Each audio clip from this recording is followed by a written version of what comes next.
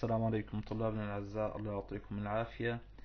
إن شاء الله في هذا الفيديو حنخلص درس المتتالية الحسابية أخذ منا هذا الدرس ثلاث فيديوهات.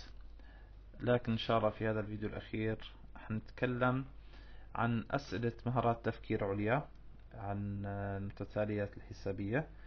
السؤال بحكينا آه، إذا كانت 15 وسين وصاد وستة وثلاثين متتالية حسابية. جد قيمة كل من سين وصاد. هذا الحد الأول للمتتالية. هذا الحد الثاني الثالث الرابع. حكالي هذه المتتالية متتالية حسابية. بس طلب مني جد قيمة سين وصاد. طيب الحد العام للمتتالية الحسابية.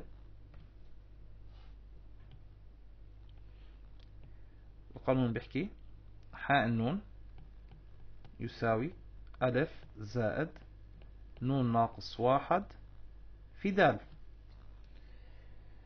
طيب ألف عندي اللي هو خمستاش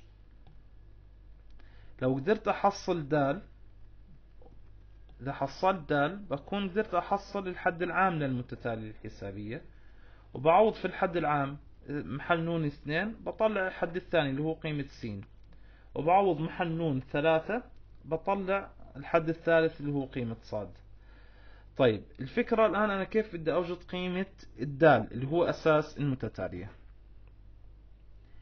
عندنا حاء النون يساوي ألف حكينا خمسطاش زائد نون ناقص واحد في دال. أنا الحد الرابع موجود عندي. يعني لو عوضت الحد الرابع اللي هو 15 زائد 4 ناقص واحد في دال أنا عارف قيمته اللي هو 36 وباخذ هذا جزء كمعادلة خطية وبحلها. يعني تصير 15 4 ناقص واحد تصير 3 زائد 3 دال تساوي 36 لتخلص من الخمسة عشر بحكي ناقص خمسة عشر ناقص خمسة عشر خمسة عشر ناقص خمسة عشر راح تظل عندي ثلاثة دال تساوي ستة وثلاثين ناقص خمسة عشر حتكون واحد وعشرين قسم على ثلاث قسم على ثلاث دال حتساوي سبعة. هذا قيمة د اللي هي أساس المتتالية. معناته أنا الحد العام للمتتالية أصبح عندي حاء النون يساوي 15 زائد نون ناقص واحد في دال اللي هي قديش طلعناها؟ سبعة. الآن أنا بدي أطلع قيمة صاد عفوا قيمة س نبلش. س اللي هو الحد الثاني يعني بدي حاء اثنين.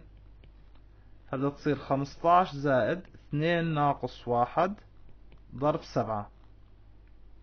وتساوي خمسطاش زائد اثنين ناقص واحد. واحد ضرب سبعة سبعة. خمسطاش زائد سبعة. خمسطاش زائد سبعة حتكون اثنين وعشرين. وقيمة صاد اللي هي الحد الثالث بدها تصير خمسطاش زائد ثلاثة ناقص واحد ضرب سبعة. ثلاثة ناقص واحد اثنين اثنين بسبعة أربعتاش أربعتاش زائد خمسطاش تسعة وعشرين. هيك طلعنا قيمة س وقيمة صاد. عنا السؤال الثاني هذا نفس فكرة السؤال السابق بتمنى لو إنك توقف توقف الفيديو تحله لحالك بعدين تشيك على الحل. لو جينا حلنا طبعا بعد ما تكون حليته لحالك بنحكي الحد العام للمتتالية. حاء النون يساوي الحد الأول اللي هو ثلاثة زائد نون ناقص واحد في دال. دال اللي هي مجهولة عندي. بدي أطلع قيمة دال. أنا الحد الرابع معلوم عندي. يعني حاء أربعة يساوي ثلاثة زائد أربعة ناقص واحد في دال يساوي تسعة. بنأخذ هذا الجزء كمعادلة. خطية بدنا نحلها. أربعة ناقص واحد تصيرون ثلاثة زائد أربعة ناقص واحد ثلاثة دال. يساوي تسعة. بدي أخلص من الثلاثة ناقص ثلاث ناقص ثلاث. هذول راحن مع بعض ضلت عندي ثلاثة لام. عفوا. ثلاثة دال.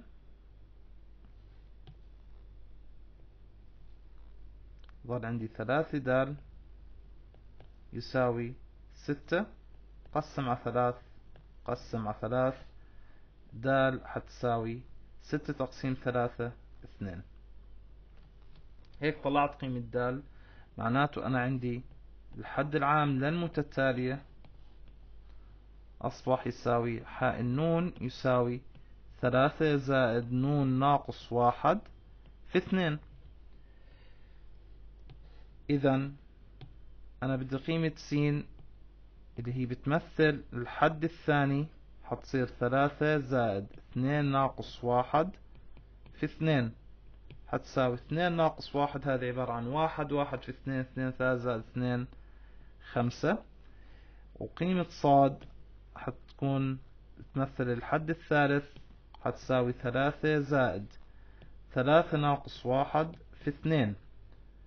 ثلاثة ناقص واحد اثنين اثنين باثنين أربعة أربعة زائد ثلاثة سبعة. يعني قيمة صاد سبعة.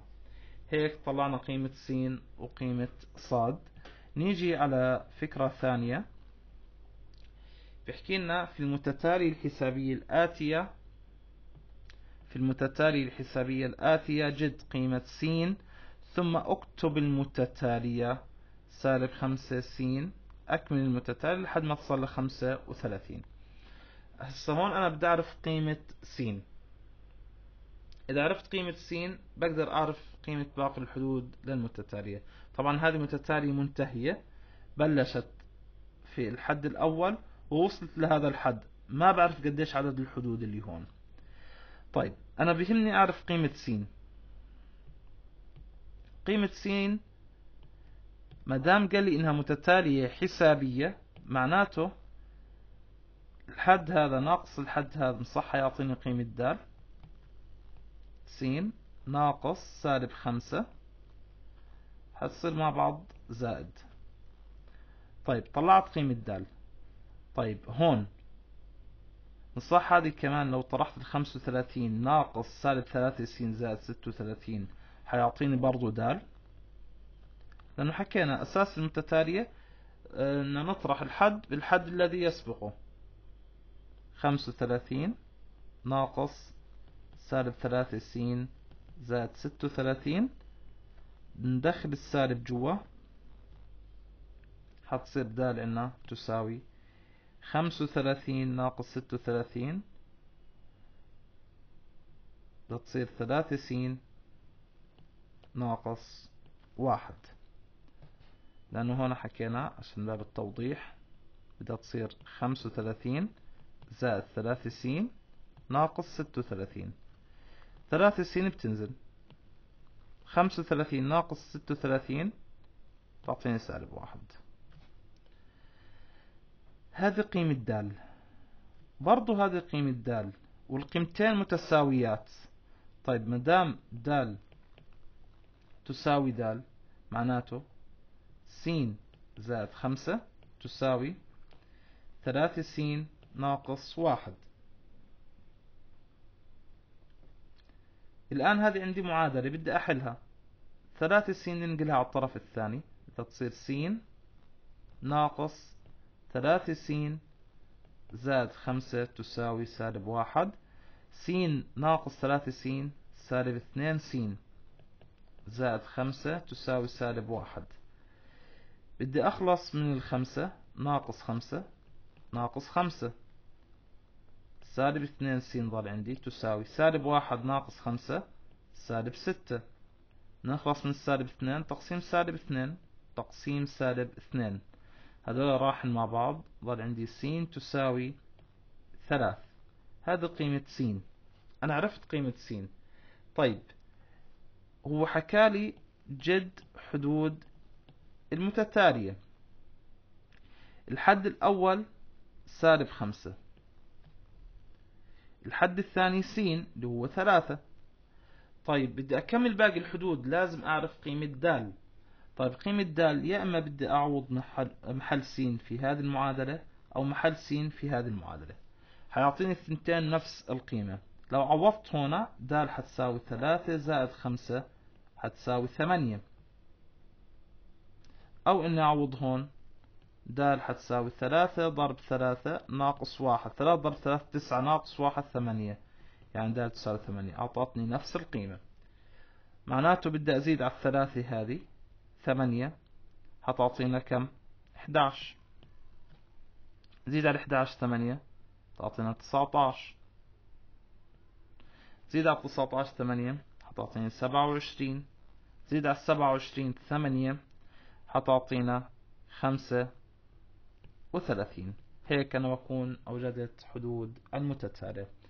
الله يعطيكم العافية شباب وبالتوفيق إن شاء الله. هيك بنكون أنهينا درس المتتاليات الحسابية بجميع أفكاره.